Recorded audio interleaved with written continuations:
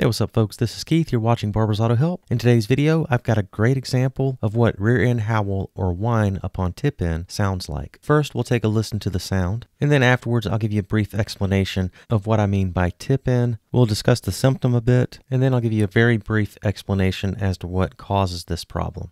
Let's go ahead and take a listen to the noise.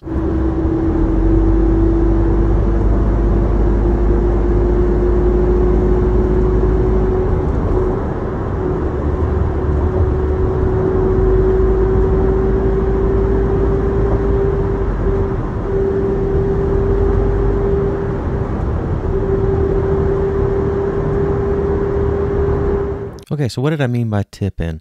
Tip in is the initial application of the accelerator pedal. And this noise usually begins to happen upon initial tip in and as the accelerator pedal is being applied steadily. Upon initial tip out or release of the accelerator pedal, this noise will usually go away. The noise will also not be present as the vehicle is coasting with the accelerator pedal not applied. Let's watch that example one more time.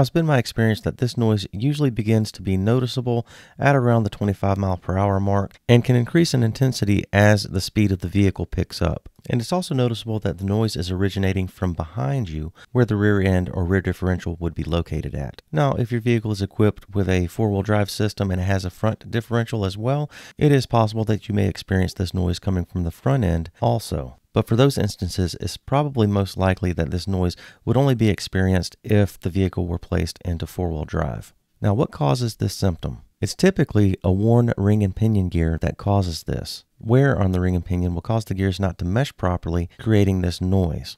And this wear is usually found on the drive side of the ring and pinion gears. Thus, the reason that the symptom only occurs while the vehicle is being accelerated or at steady speed with the accelerator pedal applied. Under those conditions, the ring and pinion gear are pressed together on the drive side. Upon tip out and during coasting, the pressure is no longer applied to the drive side and the pressure is transferred to the coast side of the ring and pinion gears. The coast side of the ring gear is going to be the concave side and the convex side is going to be the drive side. Now, another reason that this symptom can occur is because the rear end was set up improperly. Pinion depth and backlash are extremely important when it comes to setting up a differential correctly. If pinion depth and backlash are not set properly, the ring and pinion gears will not mesh correctly and it will create noise. Well folks, I certainly hope that this video was a help to you.